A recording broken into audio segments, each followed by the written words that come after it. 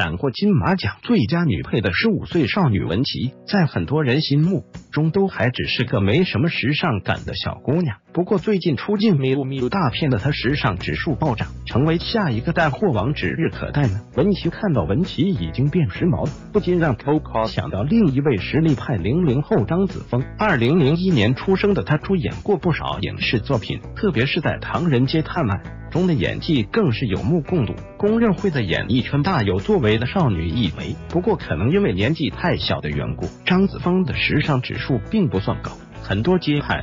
大片的搭配都很不凸显气质，所以看到文琪变时髦的时候，我就在想张子枫啥时候能乘上大牌的小火箭？结果一看小姑娘的微博，原来她早就找到了自己的风格了。张子枫个子不算高，五官也不算精致，想要走向欧阳娜娜那种可爱小女生路线，确实是有难度的。但这种偏硬朗的长相，在驾驭性冷淡的日系风的时候，还是别有一番风味的。来看看零零后小姑娘日系穿搭吧。渔夫帽不能少，张子枫的日常绝对少不了一顶渔夫帽点缀。其实渔夫帽是非常修饰脸型的帽子，一顶帽檐比较深的款式能遮住半张脸，瞬间显脸小的技能 get 衬衫超好看，特别爱看张子枫穿衬衫的样子，有种静静的感觉，很有范儿，但是又不会觉得太中性，不是不适合他的那种时尚感。配色大胆，毕竟还是小孩子，黑白灰太单调，鲜艳的红色、蓝色。